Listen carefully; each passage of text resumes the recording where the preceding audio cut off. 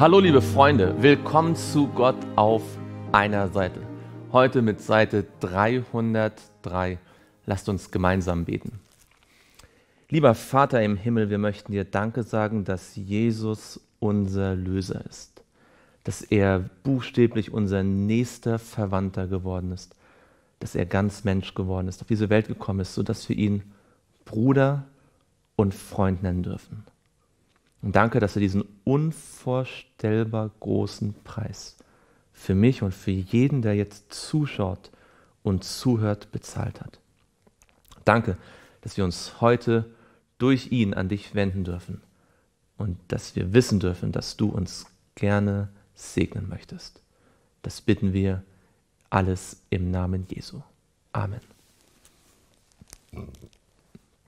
Wir sind in Ruth Kapitel 4. Boas hat das Feld und Ruth erworben. Sie haben geheiratet und Ruth hat einen Sohn bekommen. Und die Frauen loben und preisen und segnen die Naemi und sagen, dass Gott gesegnet sei, der ihr einen Löser nicht versagt hat und jetzt, dass dieses Kind geboren worden ist. Das heißt in Vers 15, der wird nun deine Seele erquicken und dich in deinem Alter versorgen denn deine Schwiegertochter, die dich liebt, hat ihn geboren, sie, die dir mehr wert ist als sieben Söhne. Und Naemi nahm das Kind und legte es in ihren Schoß und wurde seine Pflegerin. Was für eine dramatische Wendung. Am Anfang des Buches war Naemi nicht einmal mehr bereit, ihren Namen zu akzeptieren und wollte lieber Mara heißen, weil sie der Meinung war, dass Gott sie so gedemütigt und ihr so viel Negatives im Leben gebracht hat. Und jetzt hat sich alles geändert.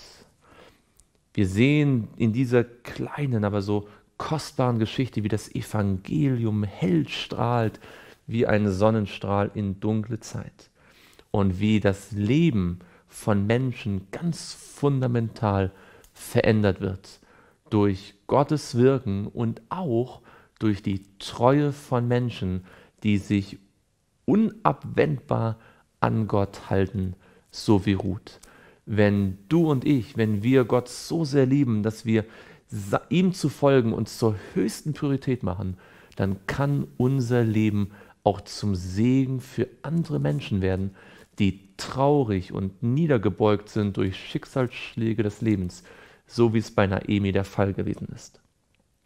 Und ihre Nachbarinnen gaben ihm einen Namen und sprachen, der Naemi ist ein Sohn geboren, und sie gaben ihm den Namen Obed.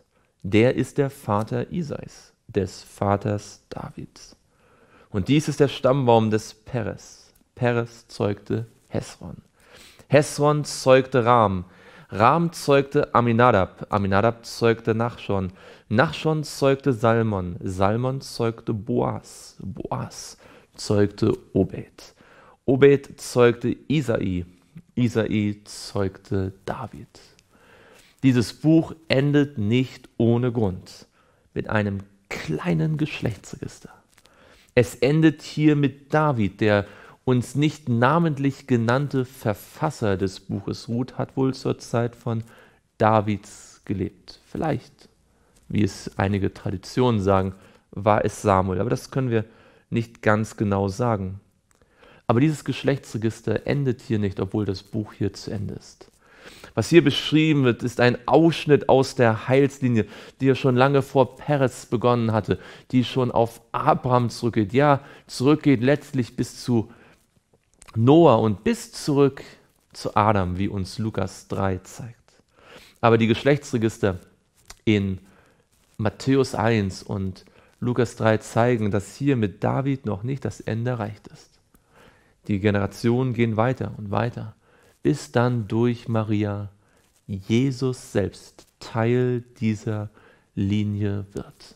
Mit anderen Worten, dieses Buch Ruth beschreibt ausschnittsweise einen Teil der Heilslinie und beschreibt das Evangelium.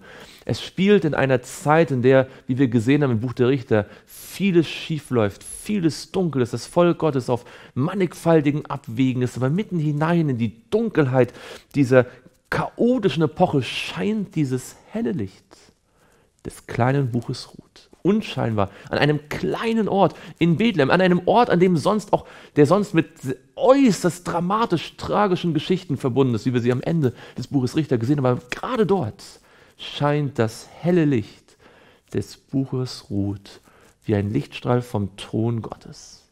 Vielleicht leben wir auch heute in einer sehr dunklen Zeit in unserer Familie, in unserer Gemeinde, in der ganzen Welt.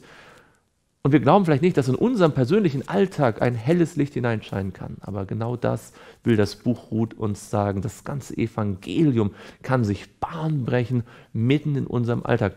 Sogar hier durch eine Frau, die niemand auf der Rechnung hatte. Eine Moabiterin sogar. Das Evangelium ist nicht an das Volk Israel gebunden, sondern wird hier ganz wesentlich auch durch das Wirken einer Heiden erklärt. Was für ein Lichtstrahl in die dunkle Zeit, wo immer wir uns gerade befinden, was immer gerade unsere Situation ist, lasst uns das mitnehmen, dass das Buch ruht, uns Mut machen möchte. Dass wenn wir auch in schlimmsten, schwierigsten Umständen sind, sei es global und oder persönlich, dass Jesus unser Erlöser ist. Und wenn wir es uns fest vornehmen, nicht nur nach Emotionen zu handeln, sondern von ganzem Herzen aus Überzeugung Gott zu folgen, dann wird Jesus uns über alles segnen, was wir uns jemals vorstellen können und erträumen können. Gott segne dich. Lass uns gemeinsam beten. Lieber Vater im Himmel, danke, dass wir das Buch Ruth haben, das, obwohl es so klein ist, ein solcher Schatz ist. Und danke, dass du uns dadurch zeigst, dass Jesus unser Erlöser, sein Licht in unser Leben hineinstrahlen lässt und dass unser Leben verwandelt werden kann. Und dass wir sogar Teil werden können, obwohl wir vielleicht so unscheinbar sein mögen, so viel Negatives erlebt haben in unserem Leben, so weit vielleicht sogar uns wegbewegt haben vom Volk Gottes, dass wenn wir die Erlösung annehmen, die du uns anbietest, dass wir Teil des großen Erlösungsplanes, der Heilslinie sein können, die über die Generationen und Zeitalter hinweg das Wissen um das Evangelium von Generation zu Generation weitergetragen hat. Lass uns Teil davon werden. Das danken wir dir im Namen Jesu.